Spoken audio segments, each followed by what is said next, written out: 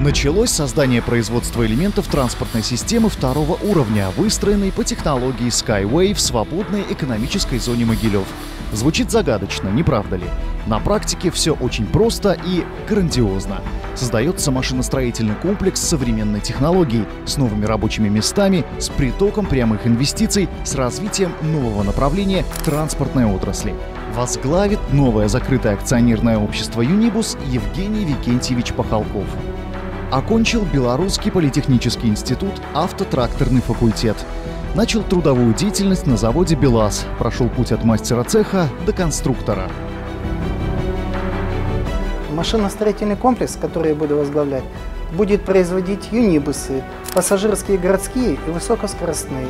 Также будет налажено производство мотор-колес, элементов путей, металлоконструкций и систем безопасности и автоматики транспортной структуры. В настоящее время идет регистрация земли и проектирование производственных площадей. Учитывая уникальность принципа работы разрабатываемых транспортных средств, идет подбор определенного оборудования. Производство юнибусов имеет свою специфику и не имеет аналога в мире. Поэтому ведется тщательный отбор технологического оборудования, станков для механической обработки, гибочно-профилирующего оборудования, сложного технологического оборудования для изготовления фирменных конструкций, опор, автоматического оборудования для монтажа рельсострунных конструкций. И все это будет расположено на территории нашего завода.